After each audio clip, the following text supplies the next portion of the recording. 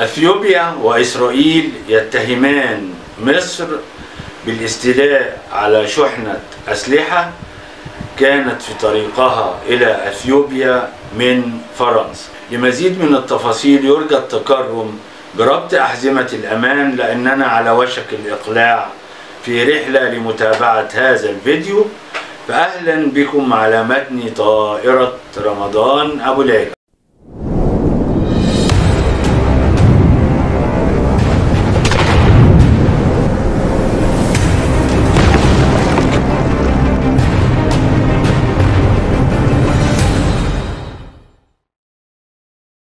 أهلا بكم اتهمت المخابرات الأثيوبية والمخابرات الإسرائيلية صقور المخابرات المصرية بأنهم وراء اختفاء شحنة أسلحة ضخمة من فرنسا قبل وصولها إلى الجيش الأثيوبي. إيه بقى الحكاية؟ الحكاية يا جماعة مثيرة جدا جدا جدا. وليلة كبيرة قوي قوي قوي قوي تعالوا بقى نحكي فيها. عملية كبيرة لم يعلن عن تفاصيلها لكن أعلن عن نتيجتها. النتيجة هي اختفاء عدد 41 حاوية نقل بضائع داخلها صفقة أسلحة ضخمة بقيمة مليار و200 مليون يورو. أهمية العملية مش بس في قيمة الصفقة ولكن في قيمة وأهمية الأسلحة اللي كانت داخل الحاويات تعالوا بقى حضراتكم نحكي عن ما أعلن عن العملية. موقع أفريكا انتليجنت بيقول إن في ثلاث شركات كانت مسؤولة عن هذه العملية. شركتين منهم من داخل أثيوبيا شركتين أثيوبيتين وشركة ثالثة شركة فرنسية. نتكلم عن الشركتين الأثيوبيتين. نمرة واحد شركة خطوط الشحن الأثيوبية والمعروفة ب ESL شركة خطوط الشحن الأثيوبية كانت مسؤولة عن نقل الأسلحة من فرنسا. شركة خطوط الشحن الأثيوبية اتأسست عام 1963 عندما كانت أريتريا ما زالت جزء من أثيوبيا وأثيوبيا لها حدود بحرية يمكن أن تشحن وتستقبل البضائع من خلال هذه الحدود. وسنة 1993 عندما استقلت وانفصلت أريتريا عن أثيوبيا استمرت شركة خطوط الشحن الأثيوبية في العمل وكانت مكلفة بنقل الأسلحة من فرنسا. أما الشركة الثانية فهي شركة METEC وهي شركة Metals and Engineering Corporation شركة أثيوبية مملوكة للدولة الأثيوبية وهي عبارة عن شركة صناعات هندسية وعسكرية كبيرة جدا تضم تسع مجمعات للصناعات العسكرية.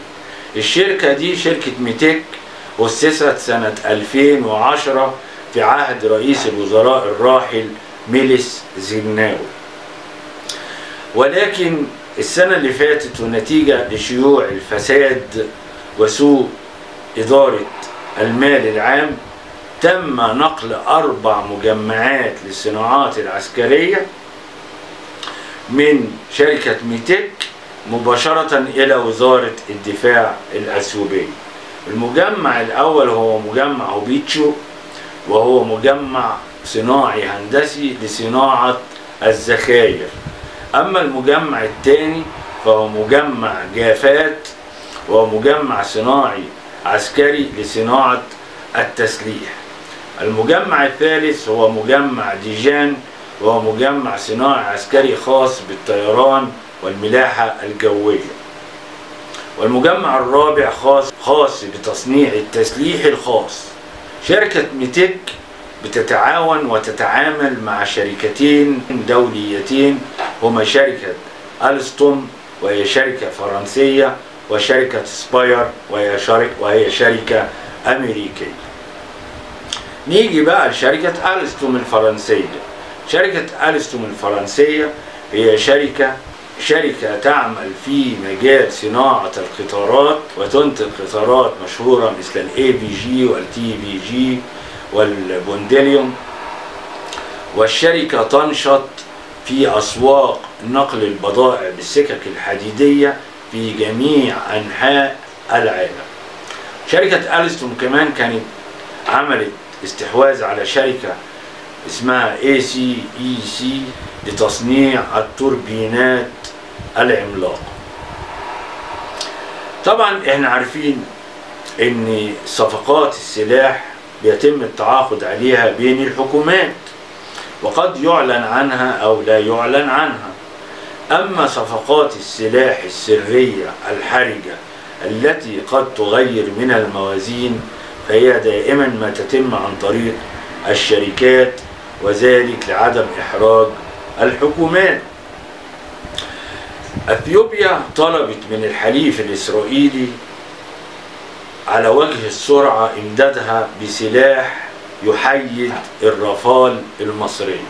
وفعلا إسرائيل الخبيثة جهزت بعض الأسلحة منها صواريخ وذخائر وأجهزة تشويش راداري عالية التقنية ذات شفرات خاصة وقطع غيار مهمة جدا وأرسلتها إلى شركة ألستون ليتم شحنها إلى أثيوبيا ولكن عيون وآذان صقور المخابرات المصرية دائما ما ترصد كل المخاطر التي تهدد مصر. ذهبت شركة الخطوط الأثيوبية لاستلام الشحنة من شركة ألستون الفرنسية لشحنها إلى أثيوبيا وهنا كانت الصاعقة والمفاجأة. اختفاء عدد 41 حاوية بما فيهم من أسلحة. وبسؤال شركة ألستون الفرنسية قالت الشركة أن الفاعل مجهول ولكن بالتأكيد له مصلحة كبيرة جدا في اختفاء الأسلحة. أما عن المخابرات الأثيوبية فقد أعلنت بوضوح اتهامها المباشر للمخابرات المصرية. كذلك المخابرات الإسرائيلية وجهت أصابع الاتهام المباشر للمخابرات المصرية وقالت أن صفقة الأسلحة بما تتضمنها من أجهزة تشويش راداري عالية التقنية والتي لها شفرات خاصة لا يعلم بأهميتها إلا مصر ولا يوجد لأحد مصلحة في اختفائها إلا مصر. في نفس الوقت التي تراقب فيه المخابرات الفرنسية الموقف من بعيد حيث أن صفقة الأسلحة المختفية كانت تضم بخلاف الصواريخ والذخائر أجهزة للتشويش الراداري عالية التقنية والتي باستطاعتها أن تحجب الرؤية عن الرافال المصري التي يخطط لها أن تقوم بضرب سد النهضة في حين أن هذه الأجهزة ستذهب إلى أثيوبيا الحليف لفرنسا. كذلك مصر حليف لفرنسا. لذلك آثرت المخابرات الفرنسية وآثرت الحكومة الفرنسية الصمت وعدم التعليم لكن المخابرات الفرنسية علقت فقط بقولها أن الفاعل المجهول بين قوسين المخابرات المصرية هو على درجة كبيرة من الاحترافية والمهارة والتمكن لأنه لم يسرق الأسلحة أو لم يخرب الأسلحة بل استولى على الأسلحة بالحاويات التي تحملها. عدد 41 حاوية تحمل أطنانا من الأسلحة كيف تختفي عن الأنظار هكذا؟ ولا يوجد لها أثر. الصفقة التي كان مخطط لها الوصول إلى أثيوبيا لحماية السد والتي بسببها خرجت التصريحات من المسؤولين الأثيوبيين أننا لا نخاف من التهديدات وأننا لا نموت من التهديدات ولكننا نموت في القتال. كانت بسبب علم المخابرات الأثيوبية بقرب وصول أجهزة التشويش الراداري عالية التقنية.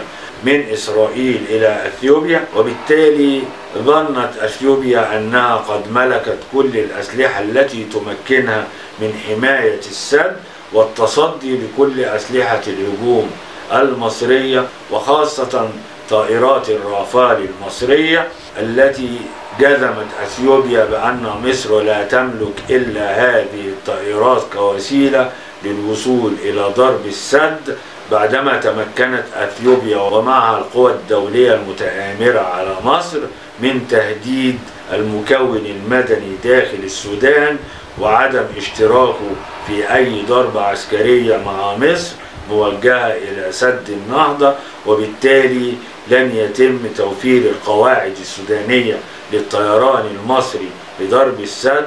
إذا فقد تم التضييق على مصر في خيارات ضرب السد ولم يتبقى لدى مصر في ترسانتها إلا استخدام الرافال لضرب السد ومع اطمئنان أثيوبيا إلى وصول أجهزة التشويش الراداري عالية التقنية ذات الصناعة الإسرائيلية اطمأنت أثيوبيا أنها قد ملكت كل الأسلحة التي تمكنها من الدفاع عن سد النهضة وإن مصر لا تملك من الأمر شيء وسيتم فرض الأمر الواقع عليها بملء السد والتحكم في قراراتها والتحكم في مصر وإخضاعها وهزيمتها سياسيا أمام العالم كله. ولكن الحمد لله رب العالمين كانت صقور المخابرات المصرية تعمل دائما في صمت